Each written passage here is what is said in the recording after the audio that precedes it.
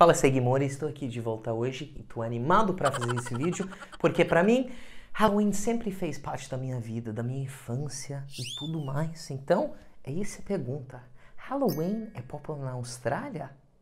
É popular mesmo ou só um negócio Nutella dos Estados Unidos? Qual é o lugar de Halloween na Austrália? Como é que a gente comemora e tudo mais. E também vou ensinar algumas expressões legais em inglês e fazer uma coisa diferente, né? Mostrar uns artigos que tem a ver. Então, tô animadaço e vamos falar sobre Halloween. Uh.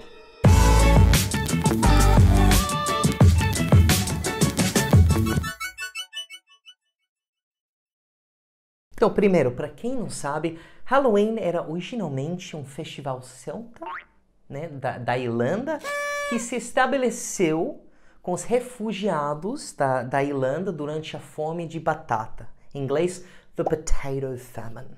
Famine, fome, né? Aí eles foram lá no, no século XIX, muitos irlandeses mesmo, e as origens uh, de Halloween já estavam com eles. E lá Halloween virou esse negócio comercial e começou a bombar mesmo, né? E é o que temos hoje, né? costumes, fantasias, fantasmas, ghosts, vampiros, crianças fazendo doces ou travessuras, trick or treating e tudo mais. Mas será que tem a ver com a Austrália? Vamos falar sobre. Como é que é na Austrália? Então, mudou muito em uma geração. É, quando eu era criança, nos anos 2000, Halloween ainda estava se estabelecendo. Então, não era como é hoje. Cresceu nessa geração mesmo. Você vê tantas crianças hoje em dia. Por quê? A Austrália, por mais que a gente fale inglês, a gente tinha muito mais a ver com a Inglaterra, a Grã-Bretanha. Nossa cultura era muito mais inglesa do que americana. Então, até, até nos anos 90, né, a influência, TV, tudo mais era, era, era mais da Grã-Bretanha do que os Estados Unidos. Isso mudou muito nos últimos 20 anos. Então, na época dos meus pais, não tinha Halloween. Era um negócio dos Estados Unidos, não tinha nada a ver.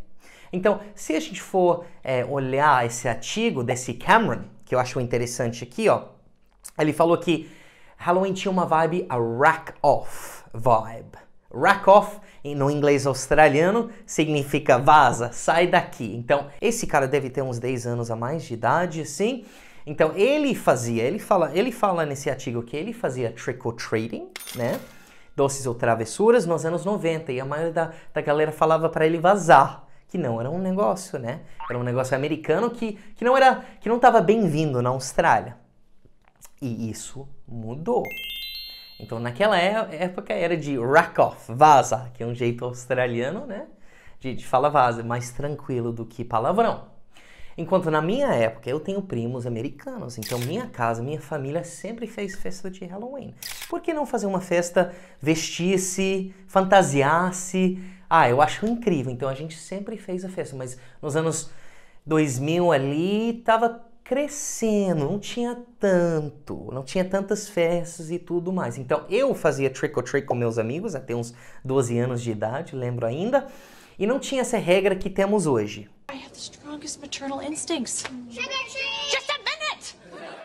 Naquela época lá, vou ver se eu consigo achar foto. Você ia para qualquer casa e, e esperava que desse sorte. Então, às vezes você recebia dinheiro, às vezes as pessoas falavam rack off, como eu ensinei, e não era como é hoje. Mas a maioria do tempo a galera gostava, a galera dava doces, lollies, como falamos na Austrália. Inglês é, no inglês americano é candy, enquanto na Austrália falamos lollies. Então era bem legal. É, só que hoje em dia tem meio tipo uma, um, um jeito de fazer as casas com decorações, decorations, é, geralmente você vai lá, aí eles dão doces, né? Mas as casas sem decorações, é, hoje em dia você não, você não deveria ir, porque não é uma coisa bem-vinda.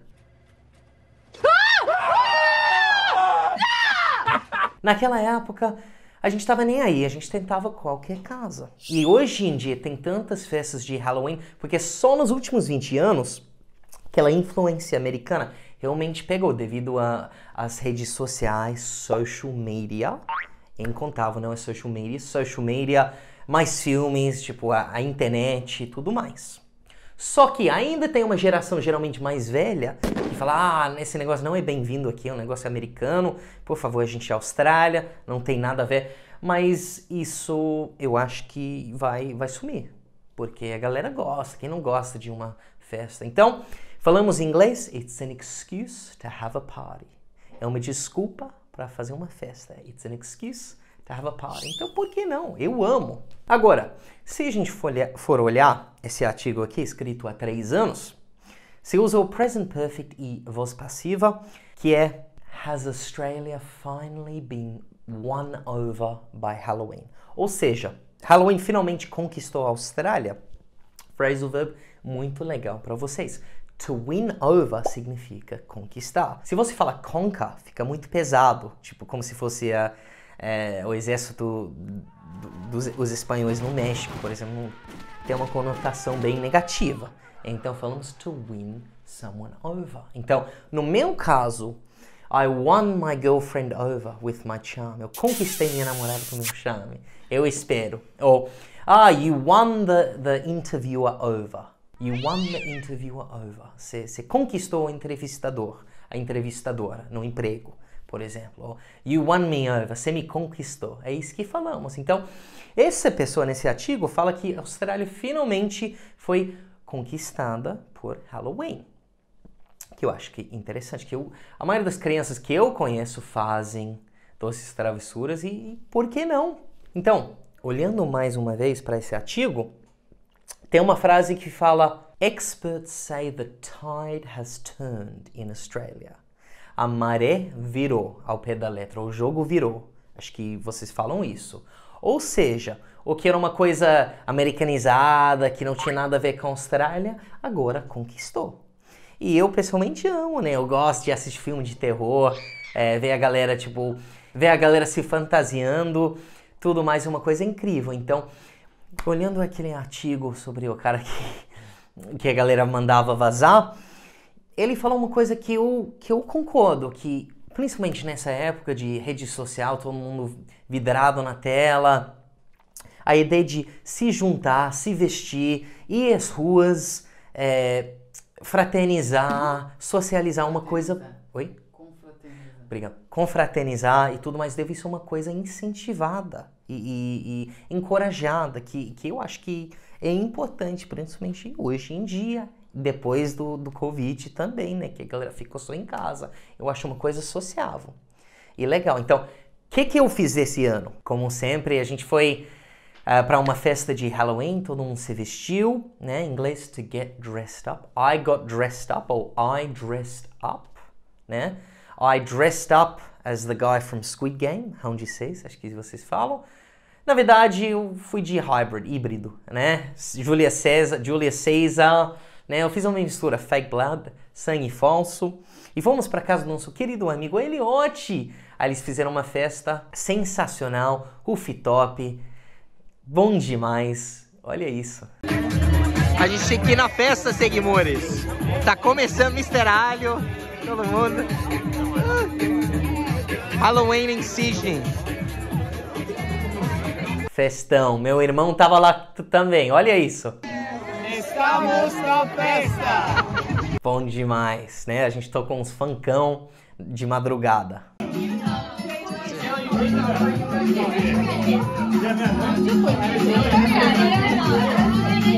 Agora funkão, né? A gente precisava. Seguimos, estamos na casa do Eliote. Cadê Eliote?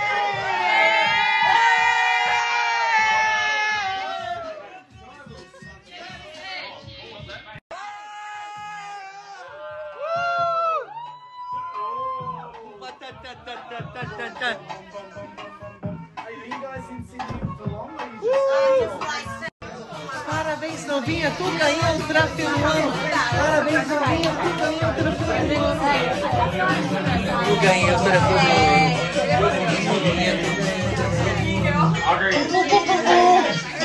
ano. E finalmente, não sei como é no Brasil, acho que vocês pegam um podrão, né? Mas aqui na Austrália todo mundo vai pro McDonald's, Mac, né? Macas, que falamos na Austrália no final da noite. Eita, bom demais.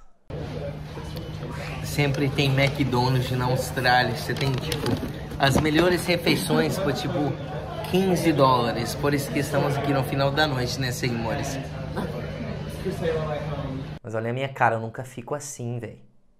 Eu nunca fico, geralmente sou comportado, né? Já era essa época, né? Agora sou homão, né? Cara de negócios, youtuber. Não tenho mais, não devo fazer mais isso não, né? Então, é isso. Nossa festa de Halloween é o Halloween Party. E no dia 31 mês, que é o aniversário do meu pai, coitado, a gente sempre fez festa de Halloween no aniversário dele, né? É, dá pra ver, olha isso, dá pra ver as crianças na rua, em grupinho. Hoje é dia 31 mesmo, dá pra ver todo mundo fazendo doces ou travessuras, trick or treat. Em inglês temos o verbo trick or treating, olha isso.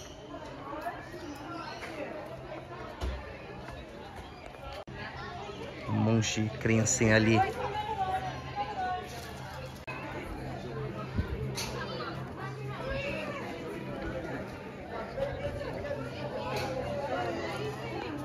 Demais, a galera leva a sério mesmo. A gente não podia porque a gente mora em, a pé, né, mozão? Por isso, mas senão a gente teria recebido e teria sido uma bela desculpa para comermos uns doces nós mesmos, né? Né, mozão? Sei que você gosta, né? Então, como é que a gente fala formiguinha em inglês? Sweet tooth. Falamos she has a sweet tooth. Ela tem um dente doce. My girlfriend has a real sweet tooth. Ela é formiguinha mesmo, né? Ela ama. Brazuca, né? Gosta de um doce. Então, seguimores, dá pra ver que hoje em dia Halloween pegou. Mudou de um dia, uma geração é, para outra. Até uns 20 anos atrás, não, não, não era um negócio popular. Mudou muito com minha geração. Hoje a gente vai pra festa de universitária, a gente se veste muito, é uma coisa que bomba na Austrália inteira. E quais são as expressões em inglês que aprendemos? To win someone over, conquistar alguém. The tide has turned, a maré virou, o jogo virou, as, as coisas mudaram. To rack off, vazar. E to dress up, to get dressed up, vestir, fantasiar-se. Espero que vocês tenham gostado e tenham achado interessante esse vídeo. E não se esqueça de dar aquele like, se inscrever no canal e compartilhar com os amigos. Valeu!